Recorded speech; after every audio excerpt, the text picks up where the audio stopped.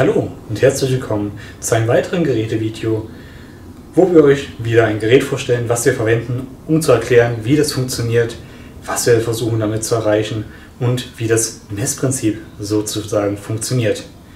Was ich euch heute vorstelle, ist die Ghostbox. Ja, Ghostbox ist in der Community in der Regel sehr negativ angesehen, durchaus begründet. Es kommt darauf an, was für eine Ghostbox man verwendet. Wird auch Spiritbox genannt, ein großer Unterschied. Dazwischen gibt es nicht. Es gibt wohl Verbesserungen wie das Portal, den Getaway und verschiedenste andere, die da noch ein bisschen mit anderen Modularen arbeiten. Die sind teilweise schwer ranzubekommen, allerdings ist auch nicht gesichert, dass sie wirklich gut funktionieren. Was ist das Problem an den Ghostboxen? Das Problem ist eigentlich, die dienen dazu, Frequenzen zu modulieren. Das heißt, die gehen Radiofrequenzen ab, das macht jede Ghostbox, das ist das Grundprinzip.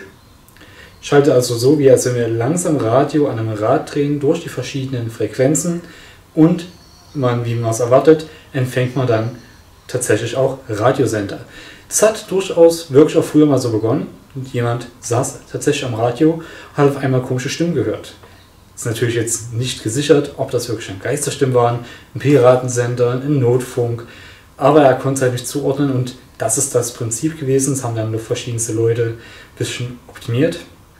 Und das ist auch die große Kritik. Wie unterscheide ich denn? Ist das jetzt ein Radiosender oder tatsächlich eine Geisterstimme? Das ist natürlich die große Frage. Das ist ja ein Problem, ganz einfach. Und deswegen sage ich, kommt es darauf an, was für eine Ghostbox man verwendet. Die, die wir verwenden, habe ich lange nachgesucht, dass es eine gibt, die es auch wirklich macht, hat einen sogenannten Wobble-Filter.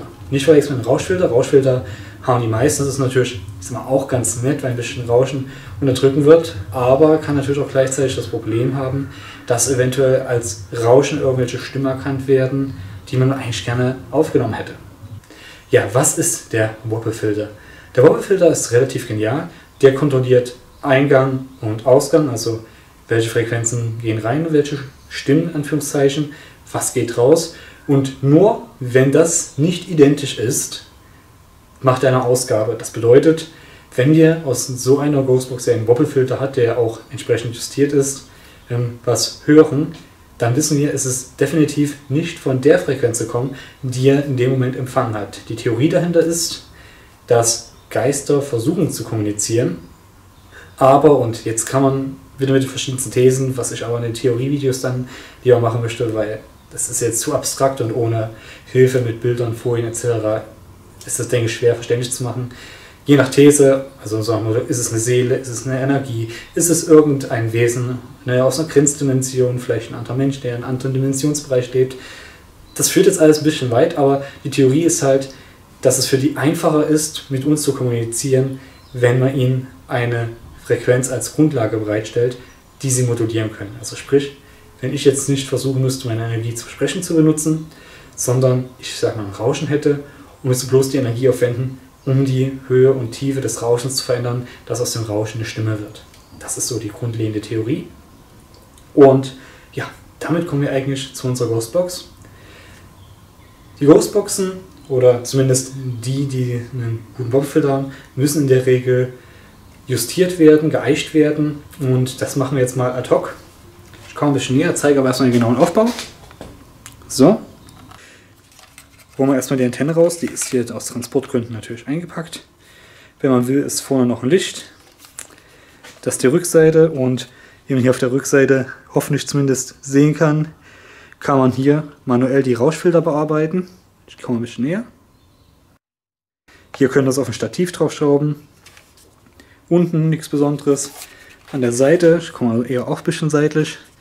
Mute, man kann es also stumm schalten. Kopfhörer kann man reinstecken, damit man besser was hört. Die andere Seite ist halt die Grundsteuerungsfunktion. Was macht man? AF, FM, AM und FM. Natürlich macht man normalerweise beides. Und Licht aus oder Temperatur. Kann man also nochmal manuell einstellen, ob das Licht an ist und die Temperatur, denn so bringen wir das wieder zur Frontseite. Erstmal der untere Teil. Hier unten ist natürlich die Ausgabe, sieht man an den Löchern. Es hat auch eine Temperaturmessung, die man separat ein- und ausschalten kann. Aber wie ihr seht, zeigt es dann halt nur die Abweichung. Ja. Was haben wir ansonsten hier vom Aufbau? Zwei Kanäle, die man gleichzeitig abgehen kann, Channel 1, Channel 2. Und hier seht ihr, man kann auch zwischen AM und FM wechseln. Die Sweep Rate, also wie schnell soll er zwischen den verschiedenen Frequenzen hin und her springen. Rückwärts oder vorwärts, ich zeige es jetzt nur auf einer Seite, das ist auf beiden baugleich. Volume, also klar die Lautstärke. Die Function-Taste, die brauchen wir gleich zum Justieren. Da kann man zwischen AM und FM und den Kanälen hin und her schalten. Und natürlich an und aus. Ihr seht es aus und jetzt fangen wir mit der Justierung an. Schalte an. Ihr seht links oben und rechts oben, beides ist rot. Und ihr hört auch schon das Rauschen, das werden wir erstmal ignorieren. Wir müssen erstmal anfangen, dass wir uns nur um eine Seite kümmern. Kanal 1. So, und ihr hört lautes Rauschen. Deswegen justieren wir es so, bis das Rauschen kaum noch hörbar ist.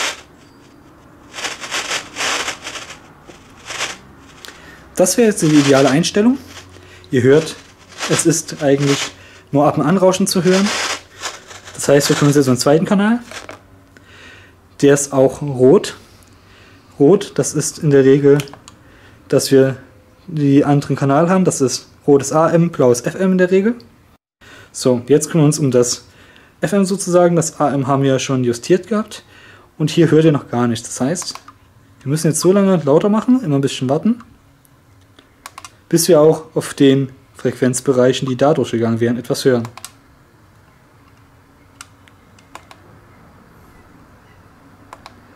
Immer nur langsam machen, kann sonst laut werden. Ja?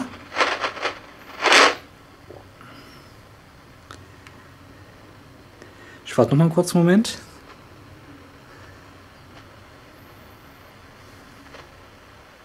Ich mache nur eins lauter. Okay, habt ihr gehört, das war ein permanentes Rauschen, das ist zu viel. Okay, dann haben wir jetzt beide justiert, jetzt schalten wir beide aktiv. Und ihr seht, links haben wir AM, rechts haben wir FM. Beide springt mit einer Frequenz von 50, also Speed pro Millisekunde, durch die verschiedenen Kanäle. Das ist jetzt justiert. So, und jetzt ist die Theorie dahinter. Ich komme ein Stück zurück. So, die Theorie ist jetzt dahinter, ich übertreibe mal Scherz, man hat eine Radio-Walkie-Talkie in der Hand, stellt Fragen und kriegt hoffentlich Antworten, die man Rauschen hört. Ich komme da nochmal näher. Ist hier jemand?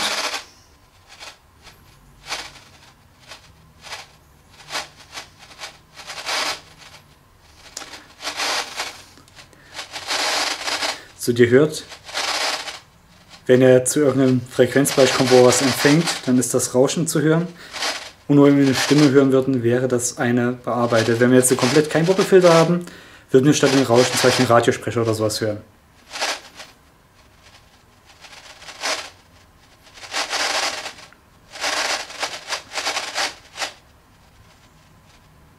So, aber genug zum Funktionsprinzip, denke ich. Ich mache es jetzt wieder aus mit der Zeit ist es auch ein bisschen anstrengend, wenn ihr die ganze Zeit das Rauschen hört. Das habt ihr bestimmt schon auf einigen Untersuchungen von uns gesehen. Wir testen es ab und an mal. Bis jetzt würde ich jetzt nicht von Erfolg sprechen. Aber wir testen natürlich auch die Theorien aus, was sein könnte und was nicht. Das ist Teil der Wissenschaft. Nicht nur, dass man, ich sag mal, ein System untersucht, sondern natürlich auch die Geräte, die offiziell funktionieren sollen oder die Verwendung finden, selbst auch auf den Prüfstand mitzustellen unter den entsprechenden Aspekten. Deswegen war die Suche auch so lang, wir brauchten irgendwas mit einem Doppelfilter. Ansonsten konnten wir Radio ja gar nicht ausschließen. Haben wir jetzt und deswegen das testen wir. Vielleicht haben wir aber mal was. Wir hatten ja schon im Hintergrund einen dauerhaften Sprecher gehabt. Klang wie, ich übertreibe jetzt mal wirklich ein ganz normaler Radiosender. Allerdings hat der Doppelfilter den nicht rausgehauen und er war auf allen Frequenzen. Spricht theoretisch für eine Geisterstimme, war aber so adäquat am Stück, dass ich denke oder dass wir denken, dass vielleicht irgendeiner einer von unseren Fans hat ja auch geschrieben, es gibt eine Art Frequenz, die dazu da ist, im Notfall alle anderen zu unterdrücken und das läuft dann auf allen Frequenzen. Und ja, zu dem Zeitpunkt hatten wir einen schätzungsweise Suchhelikopter über uns gehabt in der Nähe. Vielleicht hat er das tatsächlich gemacht, um irgendwas durchzufunken. Vielleicht haben wir das gehört. Schwer zu sagen. Aber so einen richtigen Erfolg haben wir bisher zur Erstellung dieses Videos jetzt mit dem Gerät noch nicht publizieren können. Ja, und damit sind wir eigentlich auch schon wieder am Ende. Was ihr solltet davon mitnehmen? Natürlich, wie das Gerät funktioniert und dass ihr, wenn ihr irgendwo Ghost- oder Spirit-Boxen seht, ein bisschen darauf achtet, kommt da ständig irgendwas durch. Also es ist wirklich wie ein Radiosender. Es gibt auch sogenannte Simulators, nicht nur als App, sondern auch als Gerät. Bei den Apps gibt es ein eigenes Video zu, habe ich schon gemacht. Aber da müsste man ein bisschen prüfen, ist es jetzt wirklich eine veränderte Stimme oder ist es vielleicht wirklich nur, was durch ein Radio reinkommen könnte. Das sollt ihr vielleicht am besten mitnehmen. So, und damit sage ich, macht's nicht gut, macht's besser. Ich hoffe, euch hat das Video gefallen und wir sehen uns hoffentlich bei unseren Untersuchungen oder anderen Videos wieder. Und bis dahin, tschüss! Kennt ihr einen Ort, an dem es spukt? Oder wo vielleicht sogar euch oder einen eurer Bekannten irgendwas Seltsames passiert ist? Oder einfach eine Location, wo ihr meint, boah, da müsste doch mal jemand hingehen und Untersuchung machen, da ist bestimmt was. Dann scheut euch nicht, uns über unsere E-Mail-Adresse oder über WhatsApp zu kontaktieren. Wir freuen uns auf eure Geschichten und natürlich über die Orte, die damit in Verbindung stehen und wo wir dann vielleicht eine Untersuchung machen können. Dazu vielleicht noch ein kleiner datenschutztechnischer Hinweis. Wenn ihr nicht wollt, dass euer Name in einem Video oder so als Quelle genannt wird, bitte einfach ein kleiner Hinweis zu uns. Wir machen uns dann eine Aktennotiz und dann passiert das auch nicht. Eure Daten werden für uns streng vertraulich behandelt. Das bedeutet, wir geben nichts raus ohne eure Erlaubnis. Ihr braucht euch also keine Sorgen machen, ob irgendwas nach außen dringt, was ihr vielleicht gar nicht wollt. Solange ihr uns sagt, dass das nicht nach außen dringen soll, bleibt das bei uns intern in unseren Akten quasi anonymisiert unter Verschluss und wir werden das auch nicht rausgeben.